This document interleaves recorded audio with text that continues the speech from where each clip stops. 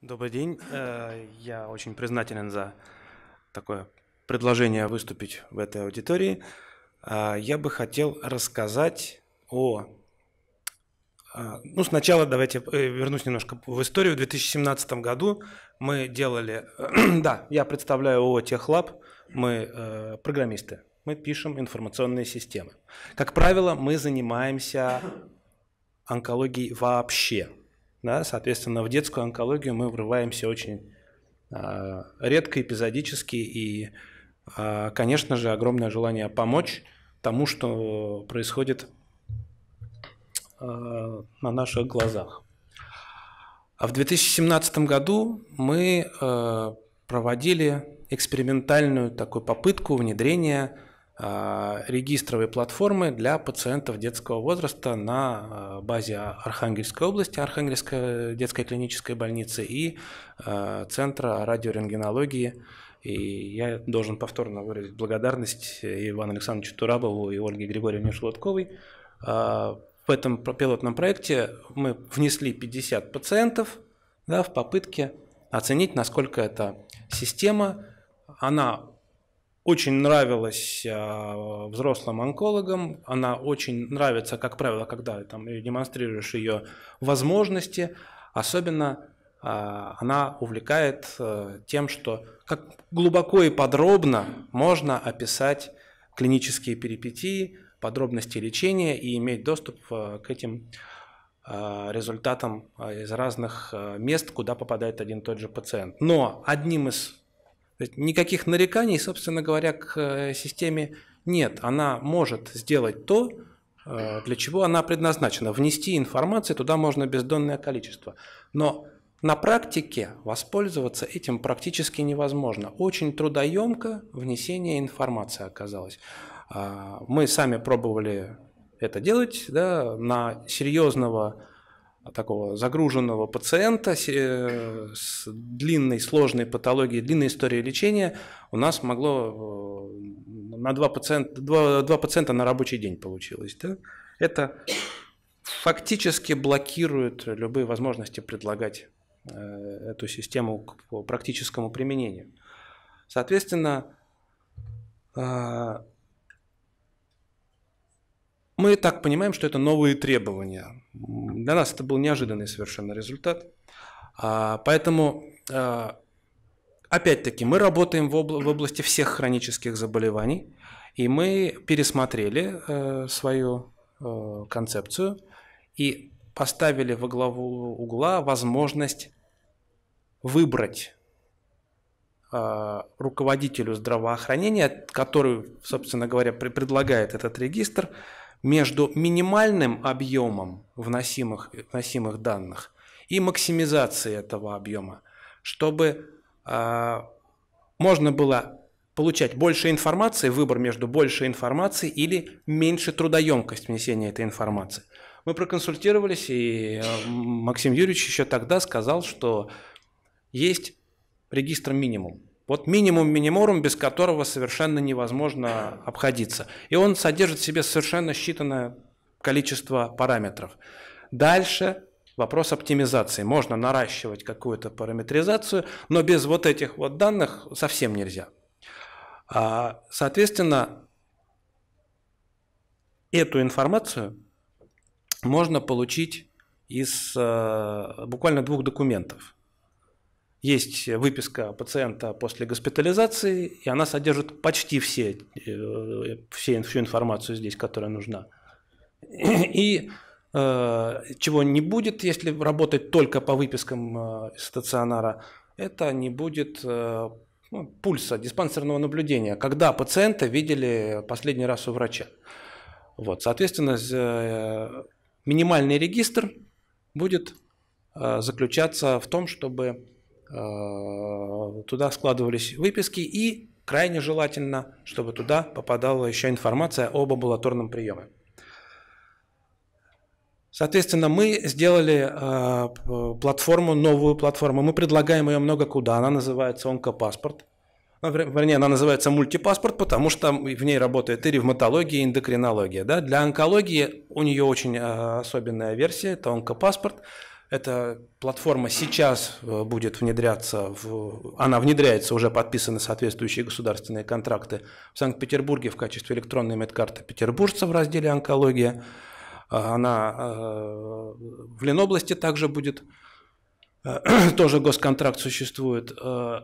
И я пришел сюда, чтобы предложить воспользоваться возможностями этой платформы для детской онкологии с учетом того, что я уже сказал, да, о минимизации труда врача, о минимизации ресурсной потребности от региона, ввиду того, что, а, ну, по опыту того, по той попытки в 2017 году, а, когда обращаешься а, к руководству чиновникам здравоохранения по поводу чего-то педиатрического, ресурсов не находится. Да, ресурсов очень мало, Э, предлагают справляться самим. Так вот, у этой платформы есть вариант, в котором ресурс ну, минимизирован потребный. Да, получаем не очень много информации, зато мы получаем а, возможность работать.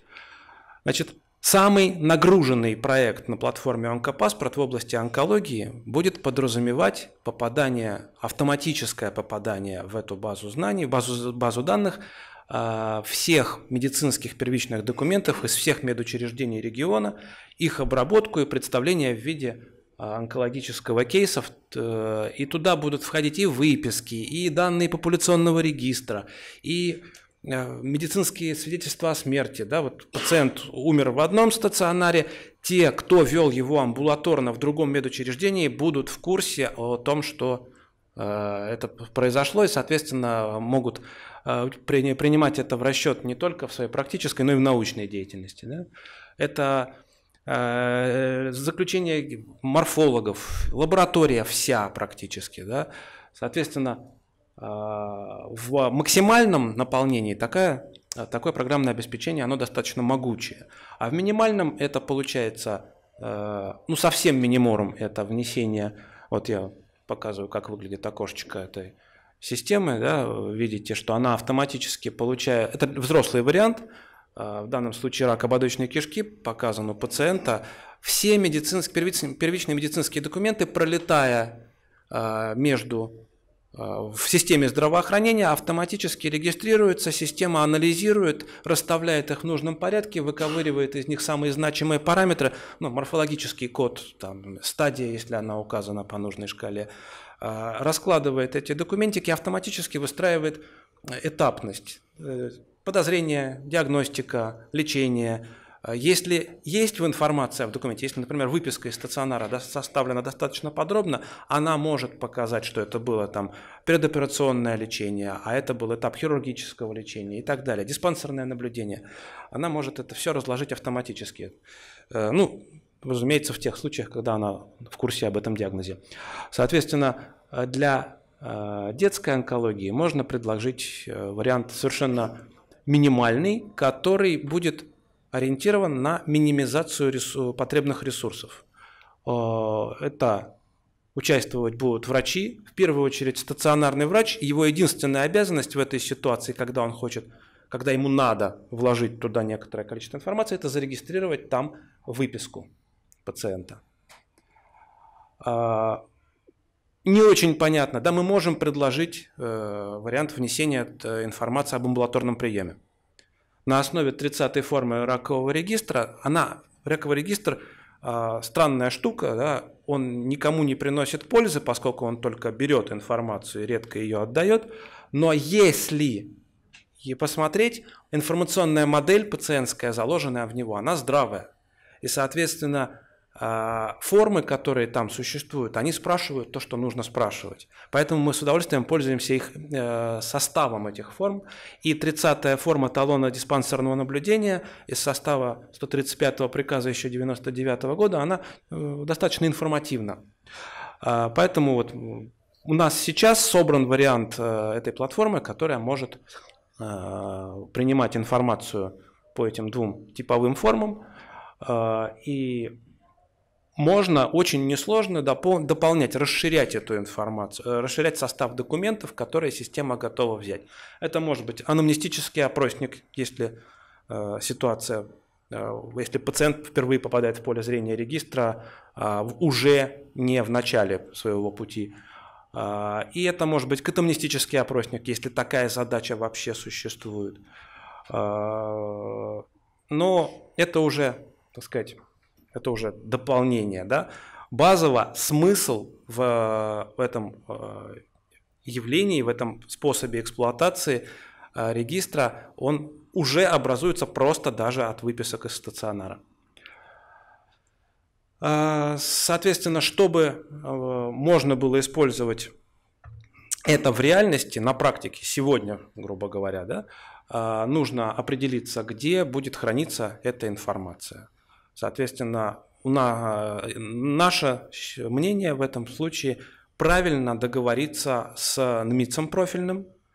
Это может быть, э, вы знаете, да, что у МИЦев, трех МИЦев есть свои территории закрепленные. Проще всего да, сговориться со своим. Это, наверное, дело все-таки главного внештатного специалиста в большей степени, чем э, главного внештатного специалиста именно округа, чем э, людей, которые работают с этой частью из региона. Но, тем не менее, а вот в НИИ Петрова, например, я уже э, предварительно осведомился, возможно ли такое явление, предоставление а, мощности НИИ для а, такой цели.